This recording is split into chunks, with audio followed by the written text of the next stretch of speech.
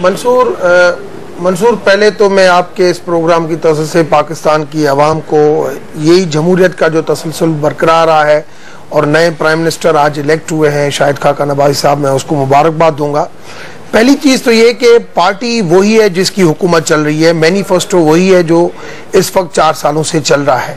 اب جب آدمی ایک سیٹ چینج ہوتی ہے تو آنے کے بعد وہ پارٹی کی وین کے اوپر چلتا ہے، مگر اس کی اپنی بھی کوئی مشن ہوتی ہے کہ بھئی اگر مجھے کوئی ڈیڑھ مہینے کا یا دو مہینے کا جو بھی ٹائم ملا ہے، اس ڈیڑھ مہینے کے ٹائم کے اندر میں کچھ ایسی چیزیں کر کے ریمارکبل کر کے جاؤں کہ مجھے بھی لوگ یاد رکھیں کہ میری یہ ایفیشنسی تھی، میں نے یہ کام کیا ہے۔ اس حوالے سے اس نے آج اپنے خیالات کے اظہار کرتے ہوئے دو اچھی اچھی چیزوں کی طرف دیکھا، اچھی چیز اور، مگر آپ بالکل جاوید چودھری نے بات اچھی کی ہے کہ اس کو جو ہے وہ ٹائم چاہیے، کرنے میں ٹائم چاہیے۔